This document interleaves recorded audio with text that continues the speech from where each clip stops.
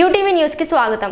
రాష్ట్ర ప్రభుత్వం పేద మధ్యతరగతి కుటుంబాలపై పన్ను భారం వేస్తూ తీసుకువచ్చిన అక్రమ జీవోలు. నూట తొంభై ఆరు నూట తొంభై ఏడు నూట తొంభై ఎనిమిది జీవోలను వెంటనే రద్దు చేయాలని బహుజన్ సమాజ్ పార్టీ డిమాండ్ చేస్తుంది. ఈ సందర్భంగా జిల్లా వర్కింగ్ ప్రెసిడెంట్ బూదల బాబురావు మాట్లాడుతూ రాష్ట్ర జిల్లా అధ్యక్షుల ఆదేశాల మేరకు ఈరోజు నర్సరావుపేట మున్సిపల్ కార్యాలయం నందు ఆస్తి చెత్త నీటి పనుల పెంపును నిరసిస్తూ వింతిపత్రాన్ని సమర్పించడం జరిగిందని ఈ దేశంలో గత రెండు సంవత్సరాలుగా కరోనా విలయతాండవం చేస్తుంటే ఏమీ చేయలేక చేతులు కట్టుకుని చూస్తున్నా ముఖ్యమంత్రి జగన్మోహన్ రెడ్డి ప్రభుత్వం ఇప్పుడు నెత్తిన పిడుగులాగా పన్నులు పెంచడం దారుణమని అలాగే రాష్ట్రంలో నిత్యావసర వస్తువుల ధరలు ఆకాశాన్ని అందుకుంటే కనీసం ఈ రాష్ట్ర ముఖ్యమంత్రి కానీ మంత్రివర్గం కానీ కనీసం చర్చించలేదని సంబంధిత పౌర సరఫరాల శాఖ మంత్రి అధిక ధరలపై కనీసం సమీక్షించలేదని ఇలాంటి పేద మధ్యతరగతి వర్గాల ప్రజల రక్తాన్ని జలగల్లా తాగే ప్రభుత్వం మాకు అవసరం లేదని ఈ ఆదివారం ఇరవై ఏడు ఆరు రెండు వేల ఇరవై ఒకటి నాటికి జీవోలను రద్దు చేయకపోతే ఇరవై ఎనిమిది ఆరు రెండు వేల ఇరవై ఒకటి సోమవారం జిల్లాలోని అన్ని ప్రభుత్వ కార్యాలయాల ముందు ముఖ్యమంత్రి జగన్మోహన్ రెడ్డి గారి దిష్టిబొమ్మలను దహనం చేయాలని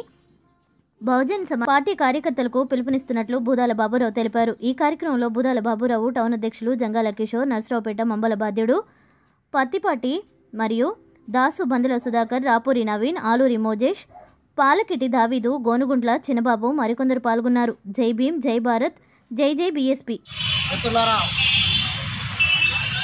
ఈ రాష్ట్రంలో ముఖ్యమంత్రి అయిన జగన్మోహన్ రెడ్డి గారు ఈ రాష్ట్రానికి ఏవో చేస్తానని ఉత్తర ఉత్తర కుమార్ ప్రకల్పాలు పలికి నేడు అధికారంలోకి వచ్చిన తర్వాత ప్రజలపై పన్ను భారం వేస్తూ నిత్యావసర వస్తువుల ధరలు విపరీతంగా పెరిగిపోయినాయి. మనం గమనిస్తూనే ఉన్నాం.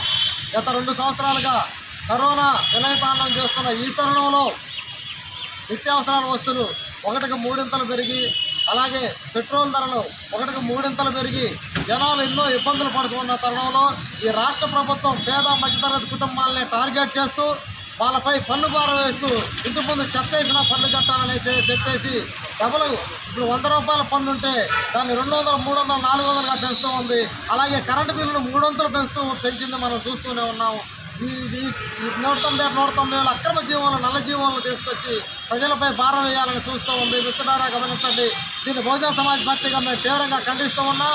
తక్షణమే ఈ నూట తొంభై ఆరు నూట తొంభై ఏడు నూట తొంభై ఎనిమిది జీవాలను రద్దు చేయకపోతే రేపు వచ్చే సోమవారం జిల్లా వ్యాప్తంగా అన్ని మండల మరియు ఎంఆర్ఓ ఆఫీసుల ముందు మున్సిపాలిటీ కార్యాలయం ముందు సీఎం జగన్మోహన్ రెడ్డి దిష్టమోహన్ దహనం చేస్తామని చెప్పేసి బహుజన సమాజ్ పార్టీ తెలియజేస్తూ ఉంది.